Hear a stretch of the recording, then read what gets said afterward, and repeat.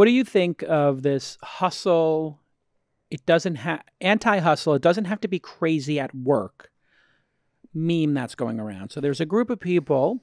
You and I are both Gen Xers.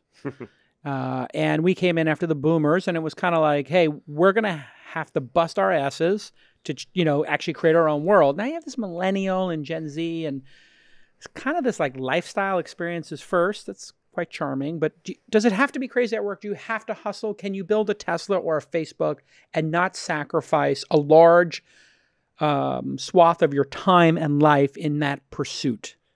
Well, so there's two answers to that question.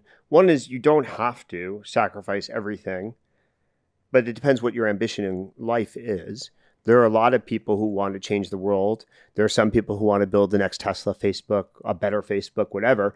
Those tend to be incredibly difficult exercises. There's people who want to be NBA basketball players, and there's people who want to be high school basketball players.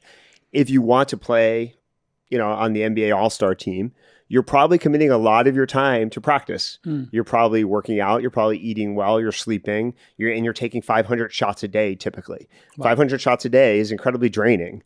Uh, 100 shots a day for me is incredibly draining. But like, if you want to be and monotonous, yeah, and if you're like, imagine you want to be an Olympic gymnast from the time you're like four years old, you do nothing except train for the Olympics. And so it depends what your goals in life are. But the idea that there's no sacrifice or no trade offs is crazy. Um, if you want to do unreasonable things, and most of these goals are unreasonable by any normal definition, there's unreasonable commitments and sacrifices that come with that. And it's up to any individual what they want to do with their life, you know, whether they value X versus Y. But it, but to tell people that they can achieve without the sacrifice is just misleading and borderline fraudulent.